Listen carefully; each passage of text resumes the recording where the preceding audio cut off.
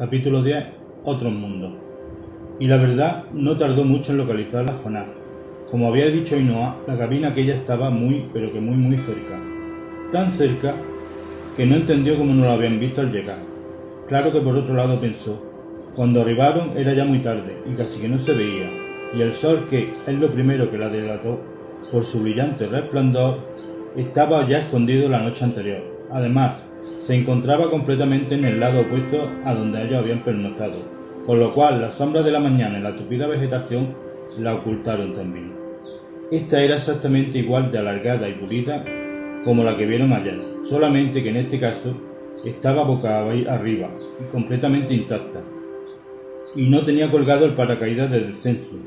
Bueno, el trapo aquel, según recordó él, y el cristal de la portezuela tampoco estaba roto como en la otra. Este estaba entero y desplazado hacia atrás sin un solo rasguño, dejando abierto el compartimento acolchado y limpio. A ver, ¿qué tenemos aquí?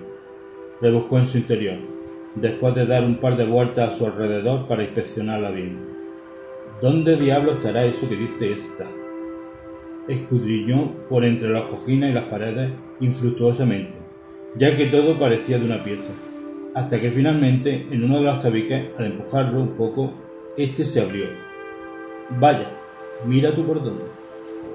Este es un pequeño fragmento de mi última novela, Tierra Pretérita, El mundo olvidado por el tiempo.